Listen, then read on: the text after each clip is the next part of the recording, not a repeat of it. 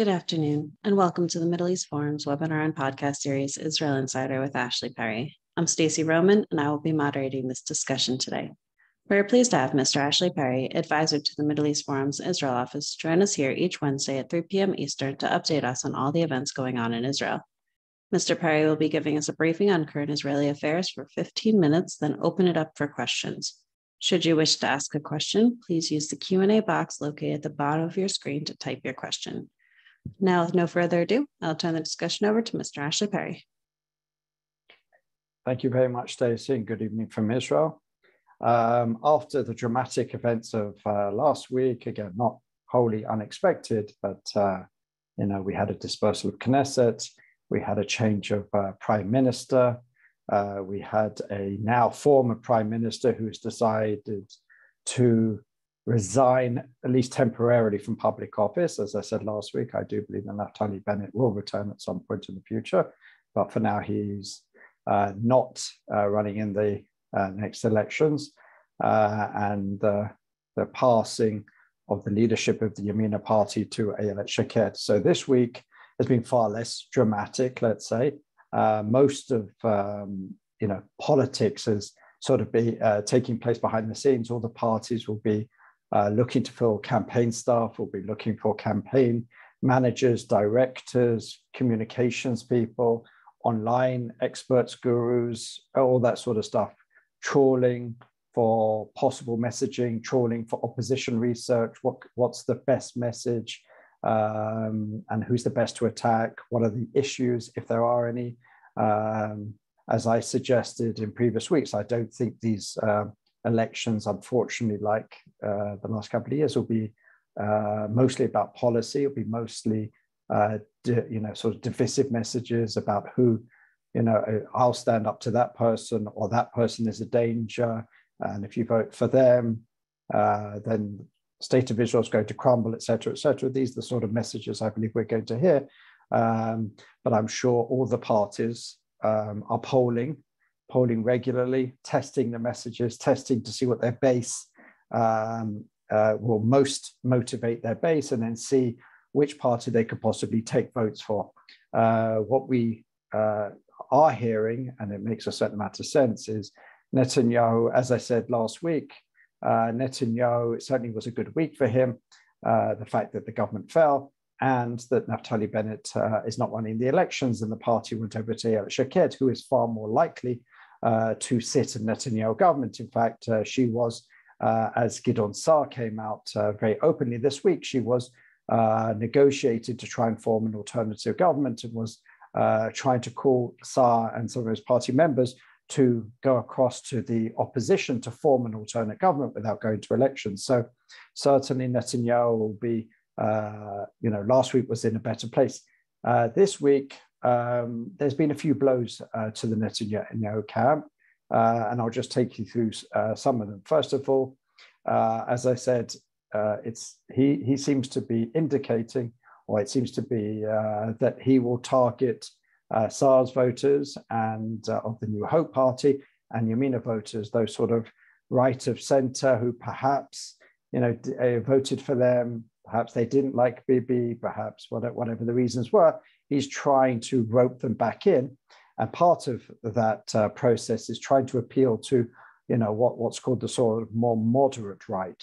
Uh, and to do this, um, he's going to try, and, and the message has been sent out, to try and silence the more, let's say, quote unquote, loudmouth uh, members of the party. There's a certain uh, cadre in the Likud who in recent years have become known in certain parts of the political map for opening their mouths. Uh, only in the last few days, uh, we've had um, Ayoob Kara, who's actually not a member of Knesset, but was a former minister for the Likud, a Druze uh, member of Knesset, who said that uh, we will, I can't remember exactly the word to use, but we will basically punish the left when we return to power. I think it was even more harsh language than that. And then you had um, Yoav Kish, uh, who came out and said that uh, if Benny Gantz, we talked about this last week, if if the um, if the sort of judicial system allows um, uh, Benny Gantz to appoint a chief of staff before the elections, we will have to replace it, uh, which caused quite a lot of uh, uh, outrage. And there's been uh, various other um, comments that have sort of, you know, gathered attention because of their, you know, supposed extremism. It seems like uh, Netanyahu wants to rein that in, wants to play up uh, the more moderate, what's called in Israel mamlachti, sort of, you know, uh, uh, those members of Knesset, former ministers who are seen as more moderate, seen as more, you know, upstanding, and we've certainly seen that, you know, I always say to people, if you want to understand where Netanyahu's head is, understand who's going to represent the Likud party or, or, you know, the opposition in the media. And we've seen a lot of Tzachi Hanegbi. Tzachi Hanegbi, first of all, is on the left wing of the Likud party. He is seen as a moderate member. He is seen as not someone who's necessarily going to put his foot in it and not going to make comments, and he's not seen as overly divisive. So the fact that he's been sent up quite a lot over the last week uh, in the media, I think also plays into that uh, narrative that Netanyahu is trying to silence those voices. Uh, today, it appears it was released, I'm sure it was leaked, that there are apparently 20,000 uh, uh, uh, Likud new members who have, have, joined in the last year, uh, mostly by some of these members of Knesset, which are more peripheral, but certainly have been quite loud over the last year. people like Shlomo Karhi, uh, and uh, Avital Distan, I think that was her name, who are basically considered not the most moderate, in fact, certainly on the more right wing uh, wings of the party. Apparently, they're the ones who signed up these 20,000. And uh, according to Likud bylaws, that, as we know, there's going to be primaries later in the year. Uh, and while at the moment no one's challenging Netanyahu, what is important is who gets placed where on the list. And now uh, the people I've mentioned are largely backbenchers. Um, and uh, Distan herself was actually put on the list without having to run last time. Uh, Netanyahu had, I believe, the two secured seats that he wanted to bring in, so he brought her in. Um, and so she didn't really necessarily have a base, so she's managed to bring in a certain amount of people. But according to Likud bylaws, uh, you have to have 16 months uh, in the party before you can vote in the primaries. Um, but apparently, Netanyahu, uh, in his role as chairman of the party, can uh, waive that and allow them to vote. Uh, the, they say at the moment Netanyahu has no interest in doing so because he's trying to play out the more moderate members. Um, uh, so it depends how this how this will play out. If he does let those twenty thousand in, that could tell you a lot about where he's going. If he doesn't, that will also uh, be a bit of an indication. Um, another thing that could hurt him, although it's very very early, is the start of the court case, what's known as Case 1000. Case 1000 follows on from Case 4000, which was certainly most serious, but Case 1000, in many ways, while it is less um, serious, it doesn't involve uh, bribery, it involves bre- uh, breach of trust. Uh, according to the first witness, at least, who is a who uh, is a, a, an assistant to uh, multi-millionaires who have become very close to Netanyahu's in previous years. Uh, the accusation is that Netanyahu and his wife were basically bought gifts um, totaling hundreds of thousands of shekels, usually cigars, champagnes, uh, and jewelry. and as a, a, an elected official, you're not allowed to accept gifts over a couple of hundred shekels at a time. Um, and it appears that this was a regular daily, weekly thing that these, um, not only were these millionaires buying uh, gifts for the Netanyahu's, it was actually, according to the, the witness, uh, it was actually the Netanyahu's who were making these demands, knowing, again, according to the witness, um, that it was illegal, uh, but they did it anyway.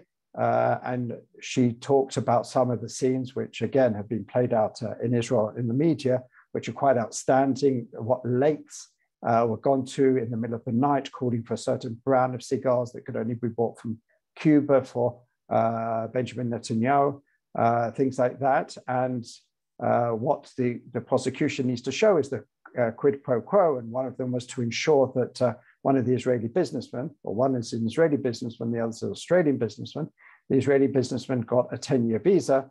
Um, and Netanyahu, again, according to this testimony, uh, went to such lengths that he involved then uh, Secretary of State John Kerry. Uh, so that would be considered the quid pro quo.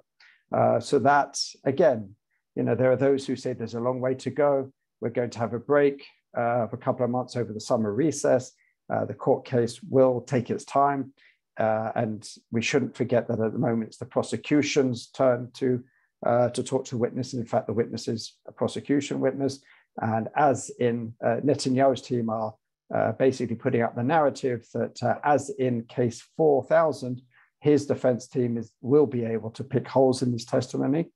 Um, so that remains to be seen whether that's going to hurt him. But certainly the picture that is being uh, painted in a courtroom is of a couple uh, that were given, uh, you know, very expensive, had a, uh, gifts, a lavish private lifestyle paid by outside people who then uh, had favors returned to them. So that certainly hasn't played very well into his image. Another very interesting snippet we've heard throughout the last year, uh, whenever the accusation has come from Netanyahu, especially in his bloc in general, that this part, this government has relied on the Ra'am party, the Islamist uh, uh, party, uh, you know, for its survival. And on many occasions, Mansour Abbas, the leader of the Ra'am party, has not, not lost an opportunity to stand up and say to Netanyahu to his face and other Likud members, you're the ones who negotiated with me first. You offered me this and that. You offered me no less than this government. Uh, so you're being a hypocrite. Well, this week we saw the first uh, snippet of evidence of that, where released recordings or and letters. Mansour Abbas apparently, uh, when these negotiations with Likud ostensibly were going on, uh, there was resistance from the religious Zionist uh, party and movement in general. And so there was a meeting arranged by uh, then Likud uh, MK Amit Halevi uh, between Mansour Abbas and Rav, Rabbi Chaim Druckman. Now, Rav Chaim Druckman is a very important player in the religious Zionist, especially the right-wing religious um, uh, community, the, the so-called Chardal, the Haredi Leumi, the um, the more, let's say, the, the, the, the, wing of the religious Zionist movement that is closer to the ultra Orthodox. Um, so a blessing from him or the green light from him would have been very important. Apparently, they did meet and things were going towards uh, Druckman uh, endorsing Mansour Abbas, uh, uh, if not entering the government, at least voting with the government and the government of Netanyahu, that would have been with, with his 59 at the time, uh, would have relied uh, on, uh, on uh, Mansour Abbas. And apparently things were going well. There was even a few tests. If he, if he condemned a terrorist attack, which he did, um, and at the time he was asked if he would endorse Israel as a Jewish homeland. He said he can't at that point. Uh, so then it was also at least endorse it as a Jewish and democratic state, which he eventually did uh, over the last year. Apparently, things were going very well to the point where other rabbis were invited to, uh, to join uh, Rabbi Druckman in this sort of blessing of, uh, of the right wing government relying on Ra'am. Uh, but apparently, Bezalel Smotrich and one of his other members of Knesset, well, yeah, member of Knesset, Orit Struk, uh, heard about this meeting and entered, and apparently, according to some of the participants, didn't let anyone else have a word and shouted and basically got his way. And that was the end of that deal and the end of the possibility of uh, a Netanyahu led right wing government relying on Ra'am. Uh, but what it does show is that there were very serious negotiations. If it got to the point where Mansour Abbas was meeting with such a senior figure in the religious Zionist community as Rav Druckman, it, it's clear what, what that would have led to. So perhaps it's taken the sheen to a certain extent off those uh, denials by Netanyahu.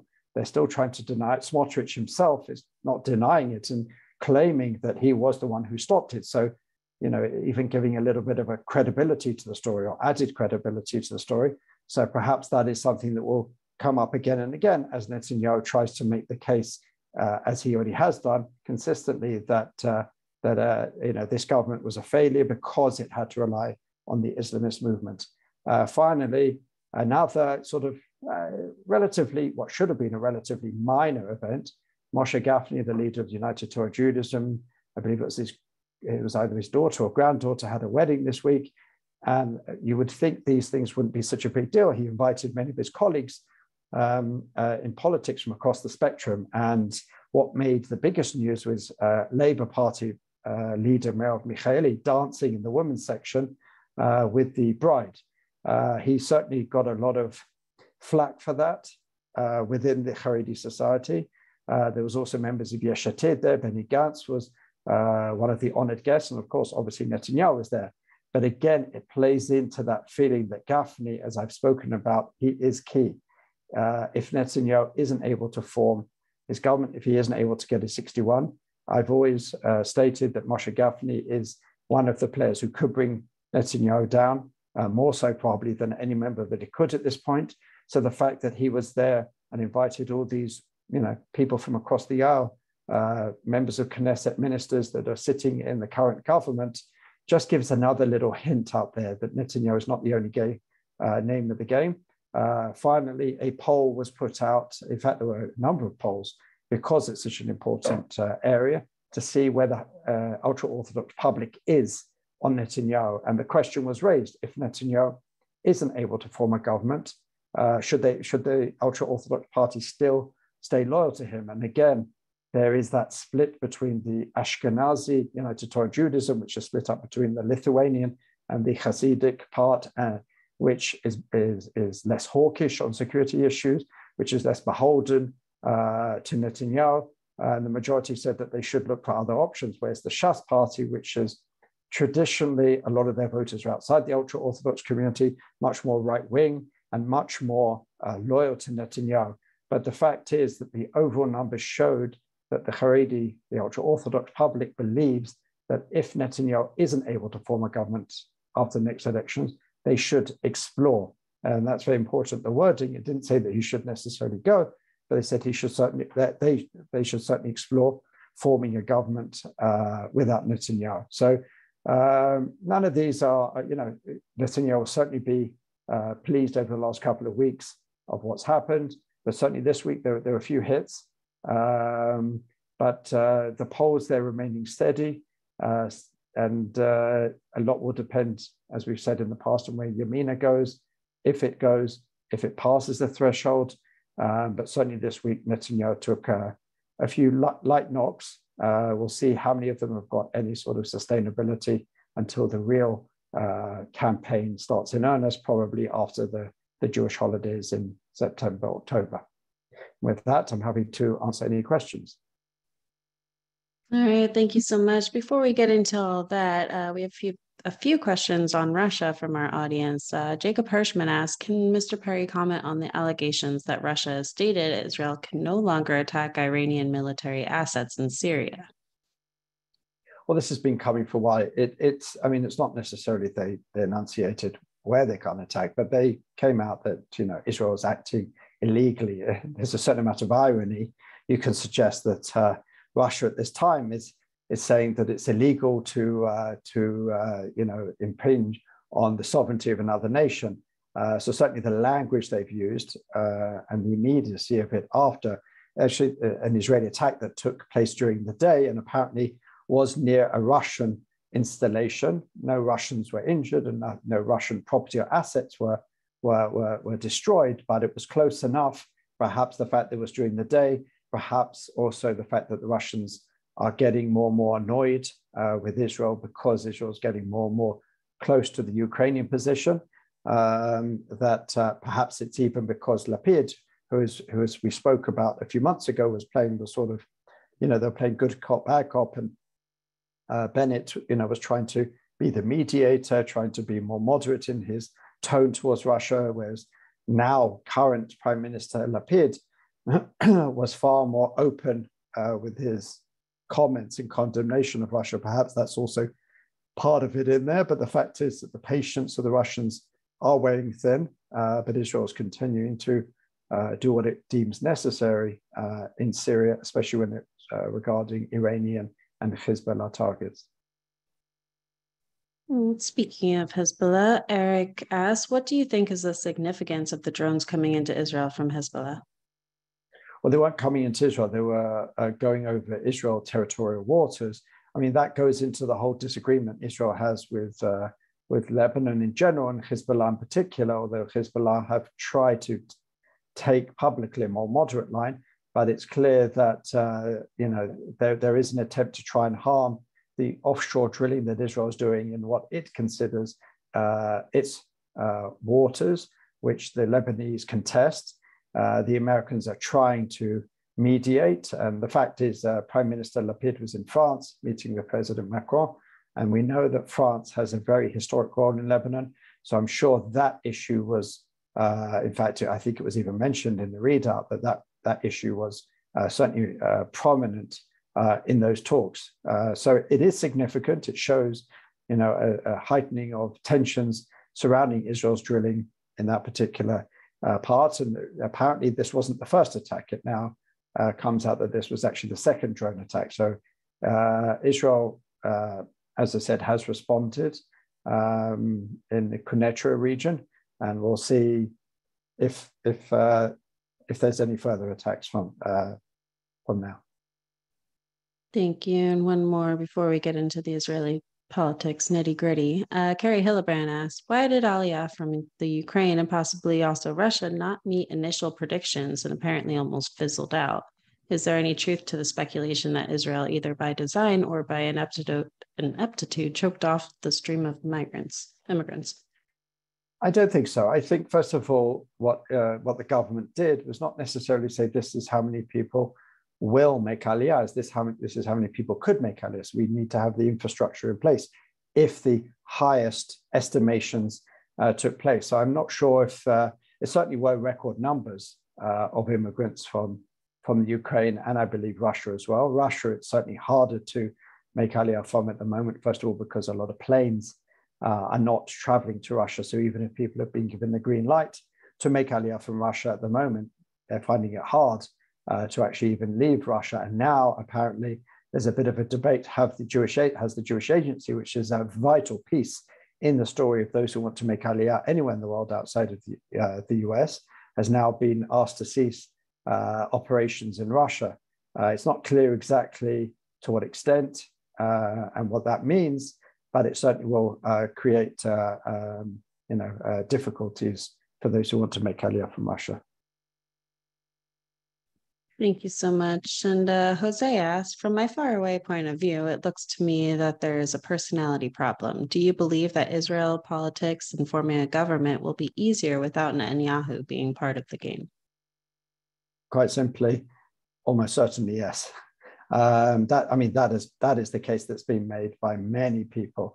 Uh, I'll just tell uh, Yuli Edelstein for one. Yuli Edelstein, who uh, came second in the last Likud primary, so a very popular politician, and up until recently was expected to challenge Netanyahu in the primaries, uh, Likud primaries later in the year. He's since decided to drop out, claiming uh, it's a case of unity. Uh, probably the reason is, is because if Netanyahu is taken, uh, uh, you know, is removed as leader, you don't want to be that person who caused that because there'll be a certain amount of backlash. So perhaps that's the reason. But anyway, but what he did say, he made the case when he was trying to make the case for himself, and I think there's a certain amount of legitimacy to it, is Netanyahu will always get the most votes in any election of any Likud leader, but he's less likely to be able to form a government. And the fact is that uh, if Netanyahu had not been uh, leader of the Likud over the last year, we would have, we would not have seen this government.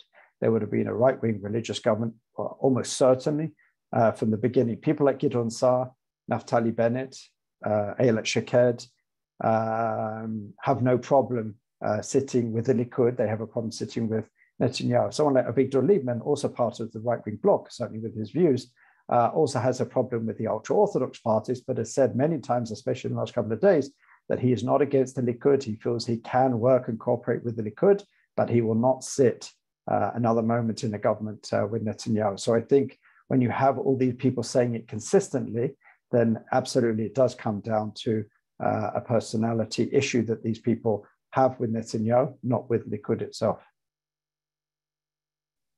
Thank you. And Larry Greenberg follows up on that. If George Washington or David Ben Gurion were not indispensable, can Netanyahu see himself as an elder statesman and anoint a successor? Well, we haven't seen any of it so far. Um, he the only time he's ever talked about a successor was uh, Yossi Cohen, the, the, former head of the Mossad. He said that he could see him as a, a successor, but he's not entering politics, at least not at the moment. Uh, there's no one currently in the Likud uh, party who is seen as a successor. Certainly, no one close enough to Netanyahu to be seen as a successor. As I've said, those who usually go to bat for him in the media are usually backbenchers, uh, not necessarily those, you know, the powerhouses in the Likud. The people like uh, Yisrael Katz, Yuli Edelstein, certainly Nir Barkat, uh, and a few others like that. Those are the powerhouses in the Likud. But uh, none of them have any great love for Netanyahu. They will all go out and claim during the primaries that they are the closest thing to Netanyahu, but certainly there's no love lost between, for example, uh, Netanyahu and Barkat. Barkat was promised to be finance minister a couple of governments ago, and then that position was given to Yisrael Katz. Yisrael Katz was doesn't like Barkat, and uh, Edelstein is not liked by this one, by that one. And there has been, you can argue whether it's intentional or not. I would say for such a seasoned politician like Netanyahu, it's probably more than uh, more than likely intentional. There has been a divide and conquer because there is no one particular leader. There's been no successor uh, in place. And when there's no successor in place, it's harder to believe that the incumbent is going anywhere. If there is a designated successor, then that person you know, can become a rallying point uh, to defeat the incumbent. But because there isn't one, there's no lightning rod there. Uh, so, uh, and, and the Likud have a bit of a history with that. They've never replaced a sitting Likud leader. If you look at it, and they've only had, what, about five or six leaders in, in the history of the party. Um, so it's uh, it's certainly not going to happen before these elections. And again, I, I stress it's my personal belief that the uh, the removal of Netanyahu will not happen within the Likud, or it's less likely to happen in the Likud. It will probably happen. Uh, some of his partners, and the most likely to desert him, uh, is the United Torah Judaism Party, led by Moshe Gafni. Thank you. And you did mention that Netanyahu is looking to to target the moderate right. Uh, Alvin Kores asked, uh, "Does it appear that the Israeli public is moving from center right closer to the traditional right, giving more votes and MKs to Likud and Yamina?" I mean, I mean. That, that's that's the problem with Israeli politics. What is these terms left and right? Um, I wouldn't say they have no meaning because they still do, but the issues which divided the political spectrum, the Palestinian issue, is pretty non-existent. Uh, hasn't been uh, prominent in I don't know how many elections. I can't remember the last time that Palestinian issue was prominent. So these these terms are bandied around. I'm a left wing. That guy's right wing. This guy's a, certainly that's probably you know that there's a certain truth to it, but certainly the positions uh, are not on those traditional uh, uh, you know where you stand on the Palestinian state, where you stand on, you know, territorial, uh, the territories, Judea and Samaria, the West Bank, etc., etc. Those issues barely come up. Um, so, so I think uh, you know at the political level, uh, the elites, it, it's not a standing issue. But yes, the Israeli public has certainly moved away uh, from this uh, belief that perhaps there was in the early 90s that a, a, Palestine, a Palestinian state, if not welcome, at least was probably the better, in a better way to end the conflict. Uh, most people do not believe the conflict is going to end. They don't believe that there's a partner on the other side. Uh, so yes, they probably moved uh, over to the right. There's also, interestingly, perhaps in contradistinction to many other Western countries, uh, the younger you are, the more right wing you are. Um, in the US, for example, it's usually the opposite. Uh, but in Israel, you know, the usually those who, who are voting for the first time tend to tend to veer right, sometimes even far right. So that certainly gives a boost to those parties. Um, and yes, the positions, you know, the, the so-called centrists of Lapid and Gantz are not talking about Palestinian state. Yes, Lapid will say uh, with President Macron that uh, he supports a two-state solution, but then he also says that there's no political or diplomatic horizon and there's no scheduled meetings for any for, uh, for uh, for, with Abbas at, at, any point in the future, and he's certainly not going to uh, spend too much political or diplomatic capital trying to go down that route. So the only real people who may have an agenda on, on that issue is probably on the extremes, on the extreme left and the extreme right. Uh, but again, I think these elections will be far more about sort of divisions, about who you dislike less, perhaps, if I put it that way, uh, and less really about when it comes down to it about uh, policy and political issues. So I know we're running out of time, but Stephen Orlow asks uh, real quick, what is the general view among the political class regarding Lapid's ability to handle the prime ministership? well, the political class, that's quite a wide. If you're if you're in the opposition, then you're going to think he has zero credibility, and certainly that's the case that's being made constantly. Uh, but if you're on the uh, you know if you're in the government block, uh, as it is, you know they they see uh, no problem with him. They see him as a worthy prime minister. You know, perhaps electorally more worthy than Naftali Bennett, who had I think six or seven seats. Um, Lapid has, I think, 17 or 18 seats. So you could argue he has far more legitimacy to be prime minister. But also, let's not forget, he is an interim prime minister. He is a prime minister, you know, in in in, in everything. But uh, this government, as all governments, when once the Knesset has been dispersed, is very limited. It has its hands tied. It can't take extremely large decisions uh, unless, of course, they're emergency decisions. So I don't think that we will see too much um, in the next, what is it, six months by Prime Minister Lapid that will be markedly different. Again, his positions uh, on many of the issues will be relatively similar to uh, Naftali Bennett's, also because quite simply, he's still got the same government. Obviously, it won't be as constrained now because the government is dispersed. You don't need to keep everyone in line. But I don't think there'll be too many dramatic moves on the economy, on diplomacy, on security uh, as before. And, and on the security issue, we're seeing still day after day, the IDF are in uh, uh, Palestinian towns and villages, weeding out the terrorist organizations, weeding out terrorists who are looking to uh, commit attacks. And I saw a statistic today, I think something like in the last couple of weeks, 172 suicide uh, and other type of terrorist attacks have been avoided because the IDF is taking extremely robust measures, uh, perhaps the likes of which we haven't seen since Operation uh, Defensive Shield in the early 2000s. Um, and so this is carrying on under Lapid. So again, I don't see too much uh, changing uh, in the policy realm in the next six months. Great. Well, thank you so much. We've come to the close of our webinar and podcast. Ashley, thank you again for taking time to update us this week. Thank you. For our viewers and listeners, please join us at Friday at 1 p.m. Eastern for a webinar with Dexter Van Zile uh, discussing bad journalism fuels Western Islamism. Uh, thank you all for joining us, and I hope you have a wonderful day.